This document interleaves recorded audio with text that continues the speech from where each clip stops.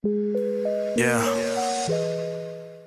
Here at Beverly Hills Rent A Car, not only do our vehicles go out as picture cars and films, but we also have a big line of studio division, anywhere from 24 stake beds to 17 cube trucks to 20 cube trucks.